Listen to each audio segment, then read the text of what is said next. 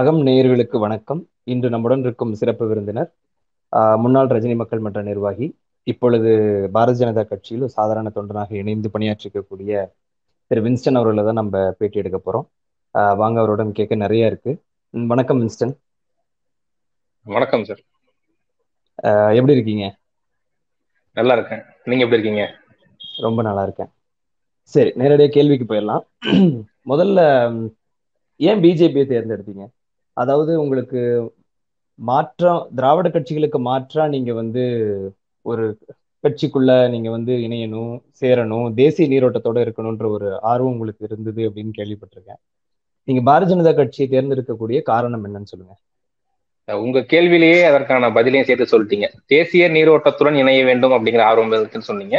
நிச்சயமா ஆஹ், திரு தலைவர் ரஜினிகாந்த் அவர்களுடன் நம்ம இணைந்திருக்கும். அது ஒரு மிக முக்கியமான ஒரு காரணமாக இருந்துச்சு. அவர் மீது வந்து சின்ன வயசுல இருந்து அவருடைய ரசிகர் அதெல்லாம் தாண்டி அரசியல் ரீதியாக வந்து பார்த்துக்கோங்க காமராஜருக்கு பிறகு அதற்கு பிறகு வந்து அது தமிழகத்துல வந்து முற்றிலுமாகவே வந்து அந்த தேசிய நீரோட்டம் அப்படிங்கிறது ஒரு வற்றி போயிடுச்சுன்னு சொல்ல முடியும். மாநில கட்சிகள் இருந்துச்சு.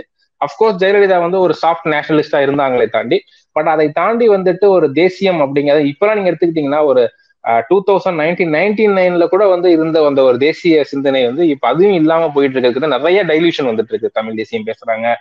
இந்திய இன்னும் இப்ப கூட ரீசெண்டா கூட சில கட்சி சில நிர்வாகிகள் வந்து எங்க அங்க வந்து இந்தியாவில் இருக்கக்கூடாது அது மாதிரிலாம் வந்து பேசிட்டு இருக்காங்க. அப்படி இருக்கும்போது தான் வந்துட்டு அந்த ஒரு வேக்கும் அப்படிங்கிற சுச்சுவேஷன்ல வந்து ரஜினிகாந்த் அவர்கள் வந்து தேசிய நீரோட்டத்துடன் அவர் ஏன்னா இப்ப அவர் வந்து பிஜேபி இணைதான் சொல்றாங்க. அவர் வந்து ஸ்டார்டிங்லேயே அப்படின்னா காங்கிரஸோடையும் சரி அவர் வந்து இணைஞ்சுதான் இருப்பார். மன்மோகன் சிங்காக இருக்கட்டும் சிதம்பரமாக இருக்கட்டும் ஒரு முற்றிலுமாக ஒரு தேசியவாதியாக தான் வந்து அறியப்பட்டார்.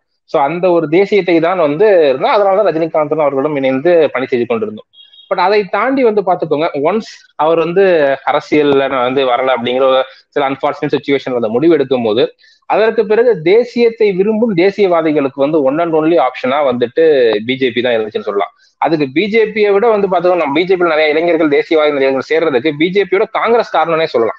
ஏன்னா காங்கிரஸ் வந்து பாத்துக்கோங்க ஆல்மோஸ்ட் வந்து ஒரு லெட்டர் பேட் கட்சி மாதிரி ஒரு பிரிவினை பேசுற கட்சி மாதிரி ஆயிடுச்சு.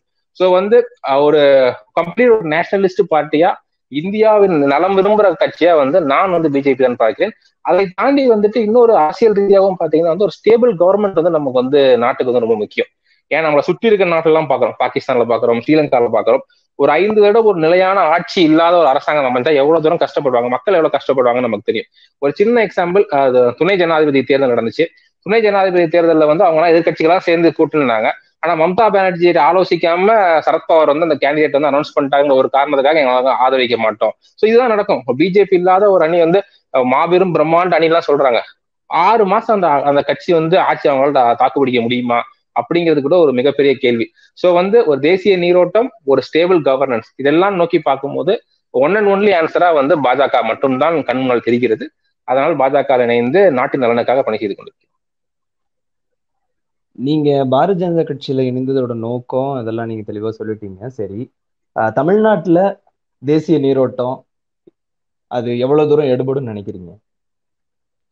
நிச்சயமா தமிழக இளைஞர்கள் நீங்க பாருங்க நம்ம ரீசெண்டா வந்து நம்ம நீல ஊட்டியில வந்து நம்மளோட ராணுவ தளபதி அவர்களுக்கு வந்து அந்த ஒரு ஆக்சிடென்ட் நடந்தப்ப நம்ம அந்த சுச்சுவேஷன்ல வந்து தமிழகத்துல வந்து அந்த தேசிய அந்த மக்கள் வந்து அவங்க கொடுத்தாங்க. அந்த தேசிய சிந்தனை வந்து எப்பொழுதுமே இருந்து கொண்டுதான் இருக்கிறது.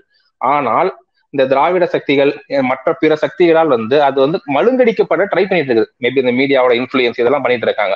ஸோ வந்து ஒரு சிறப்பான ஒரு தேசியவாதி நம்ம ரஜினிகாந்தோட நம்ம எதிர்பார்த்தது அதுதான் ஒரு சின்ன ஒரு ஸ்பீச்சு துக்ளக் ஃபங்க்ஷன்ல வந்துட்டு ஒரு ஸ்பீச் பேசியிருப்பாரு. தமிழ்நாட்டில் வந்து பார்த்தீங்கன்னா ஒரு முப்பது நாற்பது வருஷமா கட்டமைக்கப்பட்ட அந்த வந்து ஒரு மிகப்பெரிய பிம்பம் வந்து ஆட்டம் காண்றது அன்னைக்கு.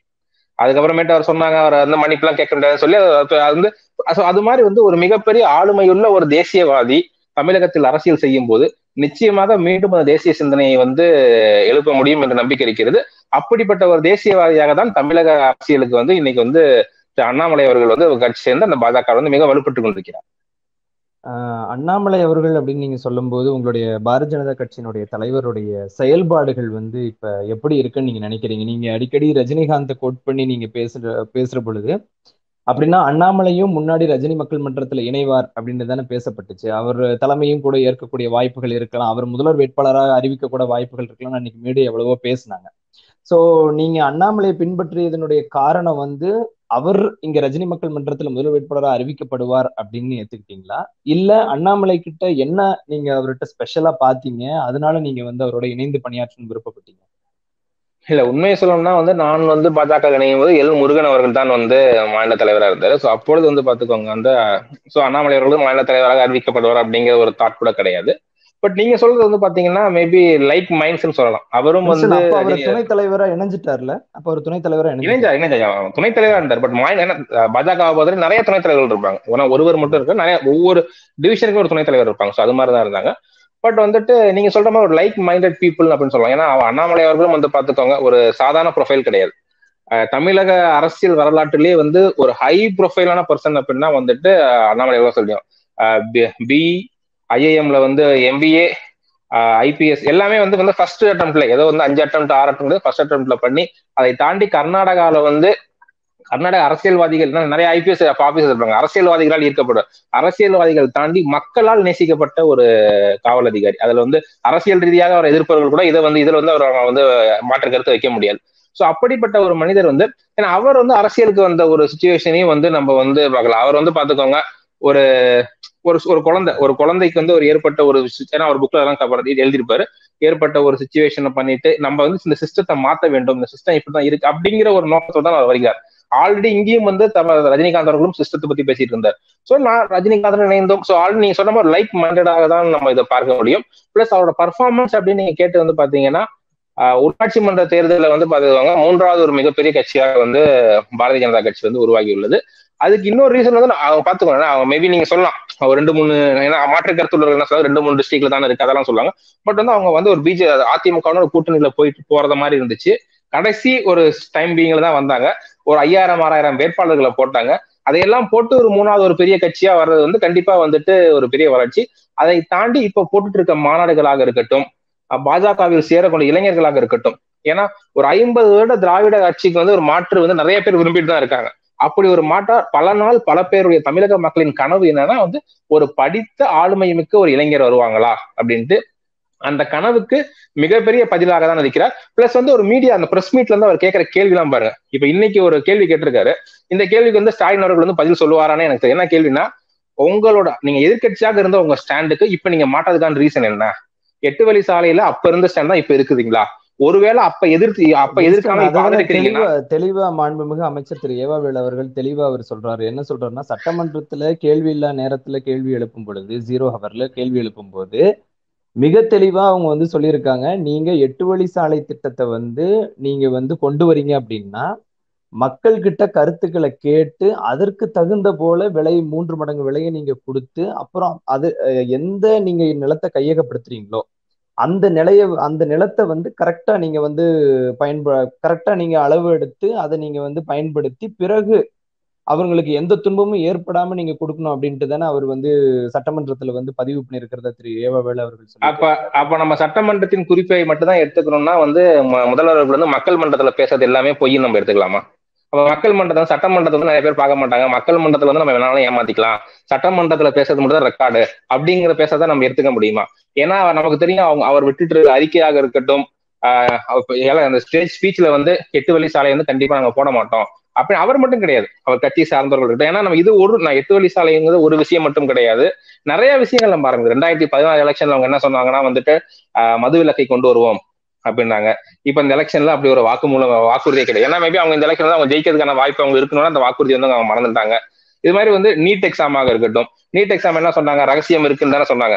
ஏன்னா நமக்கு என்னன்னா அதிமுக என்ன செய்து கொண்டிருக்கிறதோ அதையே எக்ஸாமுக்கு தான் நீட் எக்ஸாமுக்கு தான் மக்கள் மன்றத்தால தேர்ந்தெடுக்கப்பட்ட ஒரு ஒரு ஆட்சியாளர்கள் அதை அமைச்சரவை கூட்டத்துல முன் வச்சு சட்டமன்றத்துல முன்வைத்து அதை வந்து ஆளுநருக்கு அனுப்பிய பிறகு எத்தனை நாட்கள் நீங்க அது மேல இருந்தீங்க? அதற்கு பிறகு அதை ஜனாதிபதிக்கு கொண்டு போறதுக்காக இங்க கடுமையான சொற்கள்லாம் மாண்புமிகு முதலமைச்சர் அவர்கள் உபயோகப்படுத்த வேண்டி வந்து வந்தது. அதற்கு பிறகு தானே இந்த நீட் எக்ஸம்ஷன் பில்லை இப்ப இல்ல சார் இல்ல இல்ல. சார் இப்ப இப்ப நீங்க நீங்க சொல்ற ப்ராசஸ் எல்லாம் உங்களுக்கும் தெரியும் எனக்கும் தெரியும். கரெக்ட்டுங்களா இப்படிதான் பண்ணணும்ட்டு பட் அந்த ரகசியம் என்னன்னு சொன்னீங்கன்னா நமக்கு தெரியும். அந்த ரகசியத்தை தான் நாங்க கேட்கறோம் நீங்க சொல்றது இப்ப நீங்க நாளைக்கு முதலமைச்சரானாலும் இதான பண்ண போறீங்க. இப்ப மணிகண்டனும் வின்ஸ்டனும் தெரிஞ்ச விஷயத்த ரகசியத்துறாங்க நாங்க அதான் கேட்கறோம் நீங்க என்ன சொன்னீங்க? அவர் என்ன மேடையில் என்ன சொன்னாரு? திராணி இருக்கா? என்னென்னமோ நீங்க சொல்ற அந்த கடும் வார்த்தைகளையும் அப்ப எதிர்கட்சியாக இருக்கும் போது மாண்புமிகு சேப்பாக்கம் எம்எல்ஏ அவர்கள் பயன்படுத்தினார். சோ எடப்பாடி அவர்கள் வந்து தெரிய இப்ப இன்னொன்னு என்ன சொல்றாங்க? எதுக்கு இப்ப விலை ஏறுனுச்சுன்னா என்ன சொல்றாங்க? உடனே வந்து மத்திய அரசு சொல்லி தான் இருக்கிறாங்க நீங்கன்னா எடுப்புடி ஆட்சியா? நீங்கன்னா அடிமை ஆட்சியா? மத்திய அரசு வந்து கேட்கறதுக்கு சோ இது மாதிரி பல விஷயங்கள் இருக்கிறது. நம்ம வந்து அதை பத்தி பேசணும். ஒவ்வொரு ஒவ்வொரு விஷயமாவே பேசி கொண்டிருக்கலாம். பிளஸ் வந்துட்டு இன்னொன்னு என்னன்னா நீங்க வந்து அண்ணாமலை அவர்கள் ஆளுமை வந்து பார்க்கும்போது நிறைய அதுலயும் நிறைய விஷயங்கள் பார்க்கலாம். நீங்க இந்த தீபாவளி ஆவின் ஸ்வீட்ஸ் விஷயமாக இருக்கட்டும். இதற்கு முன்னால வந்து அகைன் வந்து இப்ப ராதாகிருஷ்ணன் ஐஏஎஸ் வந்து இடம் மாத்துறதுக்கு முன்னாடி இந்த சுகாதாரத்துறையில வந்து அகைன் ஆவின் சம்பந்தமாக எடுத்த விஷயமாக இருக்கட்டும். ஒவ்வொரு விஷயத்திற்குமே வந்து அண்ணாமலை அவர்கள் அண்ணாமலை அவர்கள் வந்து ஏன்னா ஸ்டாலின் அவர்கள் எதிர்கட்சி தலைவராக இருக்கும்போது சொன்னார். நான் சொல்றதுதான் எடப்பாடி அவர்கள் செஞ்சுட்டு இருக்காருன்ட்டு. இது அப்படியே வந்து மேபி டேபிள் ஆஸ் டேர்ன்னு தான் நம்ம சொல்ல முடியும். அண்ணாமலை அவர்கள் நினைக்கிறார் அண்ணாமலை அவர்கள் சொல்கிறார். அதை வந்து திராவிட முன்னேற்ற கழக ஆட்சி செய்து கொண்டு உங்க நீங்க சொன்னதுலேயே இப்ப நான் இன்னொன்னு கேட்க விருப்பப்படுறேன். ஹை ப்ரொஃபைல் உள்ள ஒரு தலைவர்னு சொல்றீங்க. இப்ப நீங்க மதுரையில மாண்புமிகு அமைச்சர் திரு. பிடிஆர் அவர்களுடைய வாகனத்தின் மீது வந்து செருப்பு வச்ச சம்பத் சம்பவத்தை பத்தி நீங்க என்ன நினைக்கிறீங்க? அது குறித்து ரொம்ப இந்த இரண்டு மூன்று வாரங்களாகவே தொடர்ந்து நம்ம பார்த்துக்கிட்டு தான் இருக்கிறோம். அதற்கு பிறகு வந்து அந்த செருப்பு வச்ச சம்பவத்துக்கு பிறகு அவர் தன்னுடைய மாவட்ட தலைவரிடம் பேசிய ஆடியோக்கள்லாம் இப்ப ரிலீஸ் ஆயிருக்கு. அதை நீங்க என்ன நினைக்கிறீங்க? ஒரு ஹை ப்ரொஃபைல் உள்ள ஒரு தலைவர் வந்து இந்த மாதிரி செய்யலாமா? இல்ல அவர் தான் உண்மையாலுமே அது பேசினார்னு சொல்றீங்களா? இல்ல என்ன சொல்ல வரீங்க இல்ல ஒரு ரெண்டு மூணு விஷயம் இருக்கு. நீங்க சொன்னதுக்கான இதையே வந்து அண்ணாமலை அவர்களே பதில் சொல்லியிருக்காங்க அண்ணாமலை அவர்களும் இதை விரும்பவில்லை.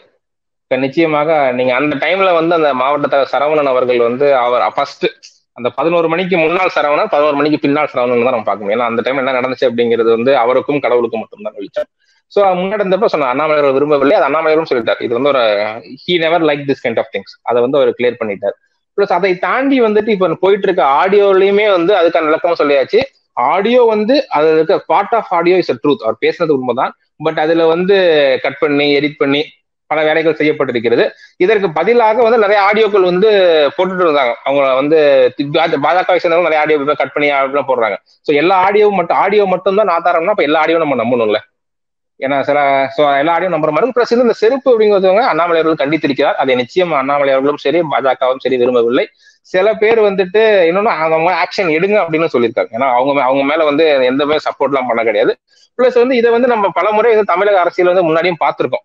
சோ கலைஞர் அவர்கள் வந்து உடல்நிலை சரியில்லாத போது மருத்துவமனையில் இருந்த போது மிகவும் அன்பாக பாசமாக வைகோ அவர்கள் பார்க்க போனார். அப்ப என்ன நடந்துச்சு அப்படிங்கறத வந்து பார்த்திருக்கோம். சோ அப்ப வந்து அதை பத்தி ஸ்டாலின் அவர்கள் வந்து கருத்து எதுவுமே சொல்ல கிடையாது. அந்த இடம்ன்றது வேற இந்த இடம்ன்றது வேற தானே இது வந்து நம்ம தேசிய என்ன என்ன என்ன என்ன டிஃபரன்ஸ் என்ன அவர் பார்க்க போறாரு ஒரு அவர் பார்க்க போறாரு அது ஒரு மருத்துவமனையில சரி இல்ல இல்ல சரி அப்படிங்கறது இல்ல இல்ல நடந்த விஷயம் சரி அப்படின்னு கண்டிப்பா ஆகியவே கிடையாது.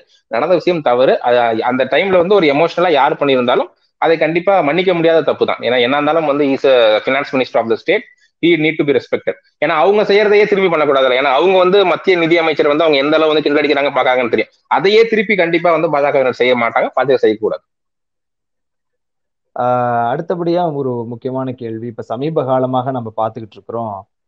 தேசிய அரசியலில் அதாவது தேசிய தலைநகரில் இருக்கக்கூடிய திரு ஆம் ஆத்மி கட்சியானது பாரதிய ஜனதா கட்சியை கடுமையாக சாடி தங்களுடைய ட்விட்டர் பக்கங்களிலும் சோசியல் மீடியாலையும் இல்லை மக்கள்கிட்ட சந்திக்கும் போதும் அவங்க வந்து பகிரங்கமான சில குற்றச்சாட்டுகள்லாம் முன் வச்சுட்டு இருக்கிறாங்க. நீங்க டெல்லி அரசாங்கத்தை கவிழ்க்க முற்படுறீங்க. அப்படிதான் நீங்க மத்திய பிரதேஷ் கோவா இந்த மாதிரி பல மாநிலங்களில் நீங்க ஆட்சியை கவிழ்க்கக்கூடிய சம்பவங்கள்லாம் பார்த்தோம். கர்நாடகா அது மாதிரி. ஸோ அதை தொடர்ந்து நீங்க டெல்லியிலையும் இதே மாதிரி சம்பவங்களை நடத்துறதுக்காக பேரங்கள் பேசப்பட்டிருக்கு அப்படின்னு சொல்லிட்டு அவங்களும் சில ஆடியோக்கள் ரிலீஸ் பண்ணியிருந்தாங்க. அவங்களும் ட்விட்டர்ல வெளிப்படையா சொல்லியிருந்தாங்க.